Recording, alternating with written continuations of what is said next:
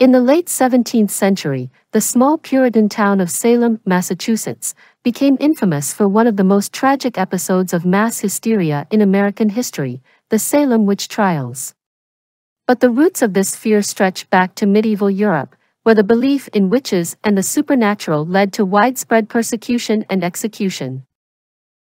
The fear of witches was not unique to Salem, it had deep roots in medieval Europe. During the late medieval period, witchcraft was seen as heresy and a crime against God. The church and secular authorities viewed witches as people who consorted with the devil and brought harm to their communities. This fear was fueled by social, religious, and economic tensions, with wars, plagues, and famines creating a need to blame someone for the suffering. The Malleus Maleficarum, or Hammer of Witches, published in 1487, became a key text that spread the fear of witches across Europe. It laid out methods for identifying, interrogating, and executing witches, leading to thousands of executions, mostly of women, across the continent.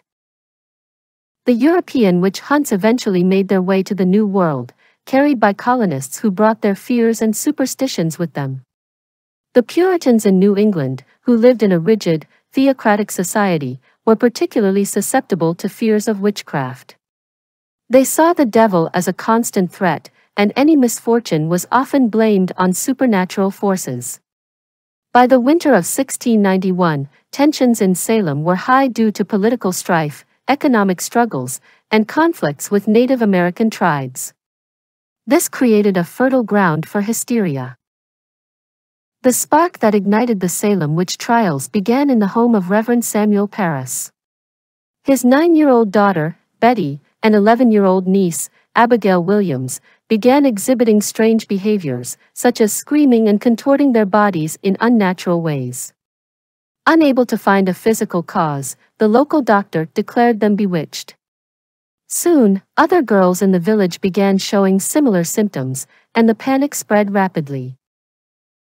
In February 1692, under pressure from local leaders, the afflicted girls accused three women of being the sources of their torment, Tituba, an enslaved woman from the Parris household, Sarah Good, a homeless beggar, and Sarah Osborne, an elderly woman who had not attended church in a long time.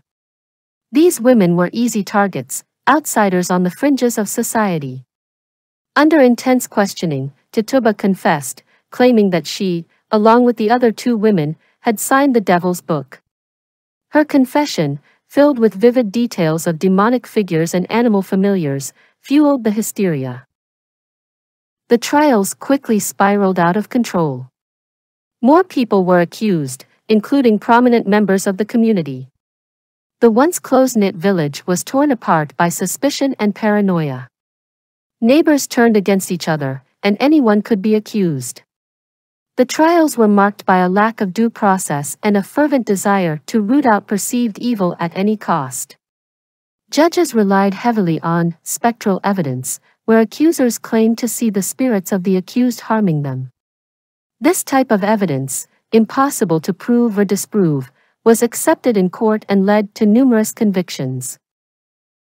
The first person brought to trial was Bridget Bishop, a woman with a reputation for unconventional behavior.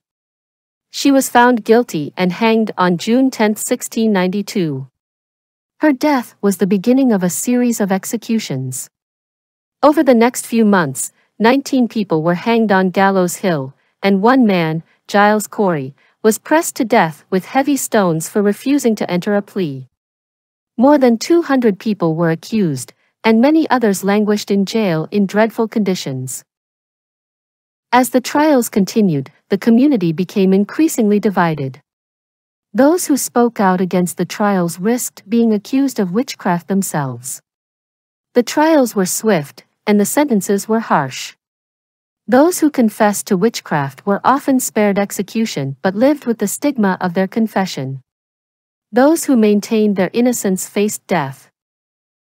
By the fall of 1692, public opinion began to turn against the trials. Prominent figures, including Increase Mather, spoke out against the use of spectral evidence. He argued that it was better for ten suspected witches to go free than for one innocent person to be condemned. Governor William Phips, influenced by growing skepticism and the pleas of his own wife, who was accused of witchcraft, ordered a halt to the trials in October 1692. Although the trials ended, the damage was done. The Salem witch trials left a lasting scar on the community and the families of the accused. Many of the victims were not exonerated until years later. In 1702, the court declared the trials unlawful, and in 1711, the colony passed a bill restoring the rights and good names of those accused and granted financial restitution to their heirs. The Salem witch trials are a stark reminder of the dangers of mass hysteria, scapegoating, and the abuse of power. They highlight the consequences of allowing fear and superstition to override reason and justice. Today, Salem serves as a symbol of the importance of critical thinking and the protection of individual rights. The trials are remembered not just as a tragic chapter in history but as a powerful lesson for the future, to stand up against injustice and to safeguard the principles of due process and evidence-based reasoning.